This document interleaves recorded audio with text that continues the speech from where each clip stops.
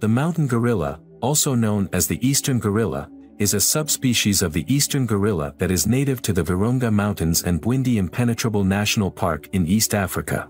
They are one of the most endangered animals in the world, with only around 1,000 individuals remaining in the wild. Mountain gorillas have distinctive dark fur and are larger than other gorilla subspecies. They are herbivores and primarily eat leaves, stems, and fruit. They live in groups led by a dominant silverback male, who is responsible for protecting the group and making decisions about where to go to find food and shelter. One of the biggest threats to mountain gorillas is habitat loss due to deforestation, as the clearing of land for agriculture and human settlement encroaches on their natural habitat.